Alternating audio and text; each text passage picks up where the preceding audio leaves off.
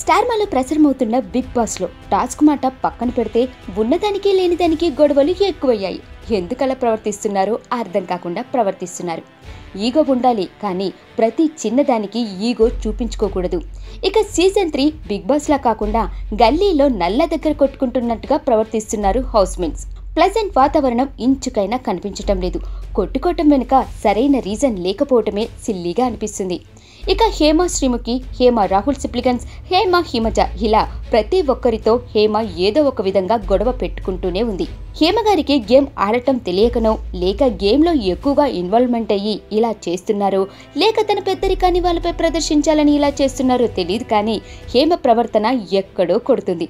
ఇక పున్ననవి భూపాలం ఏ గొడవ జరిగినా కూడా ఎక్కువగా ఇన్వాల్వ్మెంట్ అవ్వకుండా సైలెంట్గా గేమ్ ఆడుతుంది. ఇక మహేష్ విట్ట యాటిట్యూడ్ కొంతమందికి నచ్చటం లేదు. ఇక నిన్నటి ఎపిసోడ్లో హౌస్మేట్స్ మధ్య హేమ గురించి చిన్నపాటి డిస్కషనే జరిగింది. శ్రీముఖి వితిక అలీరేజా వరుణ్ ఈ నలుగురు కూడా హేమ ప్రవర్తన లీడరిజం గురించి కమెంట్ చేసుకుంటూ మాట్లాడుకున్నారు.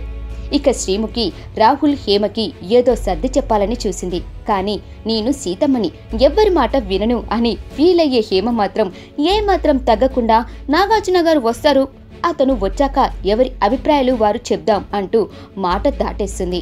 ఇక ఈ విషయం విన్న మహేష్ విట్ట సినిమా డైలాగ్ వదిలి అందరినీ నవ్వించేశాడు. నాగార్జున లెవెల్ ఏంటి? మన పత్తాపరం ఏంటి? అంటూ వేసిన పంచ్కి అందరూ నవ్వుకున్నారు. ఇక ఎవరు చెప్పినా వినే పరిస్థితిలో మాత్రం హేమక్క లేదు. ఇక నాకు కోపం లేదంటూనే నాపైన అరిసే హక్కు అధికారం ఎవరికీ లేదంటూ అక్కడి నుండి వెళ్ళిపోతుంది. ఇక నా సగం చపాతి ఎవరో తిన్నారంటూ పునర్నవి భూపాలం సిల్లి గొడవ చేస్తుంది.